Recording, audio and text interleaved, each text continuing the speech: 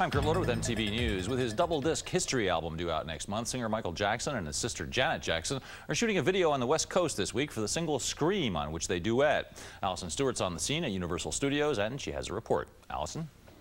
Thanks, Kurt. It's been a busy day here on the set of Scream. Janet was in earlier filming one of her scenes, and guests have been stopping by. John Singleton was in, Eddie Murphy, he's making a movie next door, supposed to swing on by, and Jimmy Jam was on hand, Janet's longtime collaborator. He also was a co-producer on several tracks on Michael's new album, as well as the track Scream. We caught up with Jimmy and talked to him about the project earlier today. In terms of the visuals that they're applying to Scream, what do you think about the combination? Does it work for you?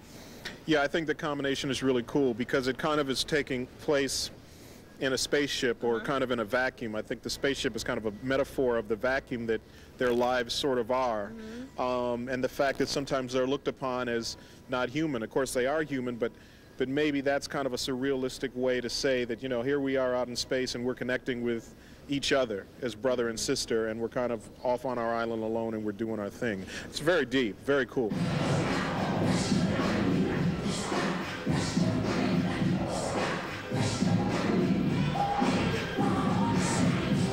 Is being directed by Mark Romanek, best known for his work on Nine Inch Nails' Closer and Madonna's Bedtime Story. They plan to shoot for about another week and it should be completed by the end of the month. Back to you, Kurt. Thanks, Alison. MTV will begin airing a 90-second excerpt on Monday from a promotional mini-movie Jackson has made for his album on an extravagant slice of psychodrama that must be seen to be believed.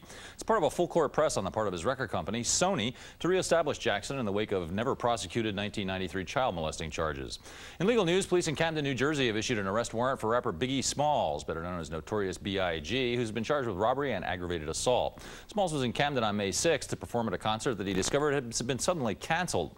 The promoter wasn't around, but one of his associates, a man named Nathaniel Banks, apparently took the rapper to the promoter's home. He wasn't there either, at which point something transpired that resulted in Banks being stomped and robbed, leaving him with a fractured cheekbone. Biggie's manager says Banks was assaulted by a crowd following the rapper, not by Biggie himself. In Los Angeles, meanwhile, one of the most frequently criticized police departments in the country is trying to spruce up its image. Having several LAPD officers captured on videotape beating motorist Rodney King was a severe public relations blow to the department, as was a special commission report that same year that described the LAPD as racist, sexist, and hostile to some of the communities it's supposed to serve.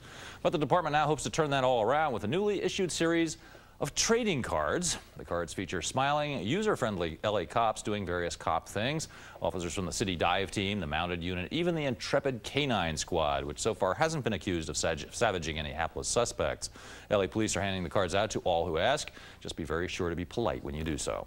One final note, singer Whitney Houston donated $125,000 last week through her personal foundation to Hale House, an organization in the New York City district of Harlem which cares for babies born addicted to drugs.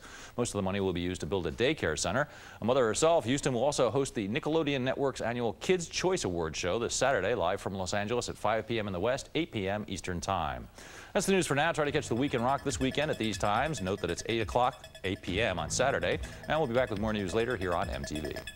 MTV News. You hear it first.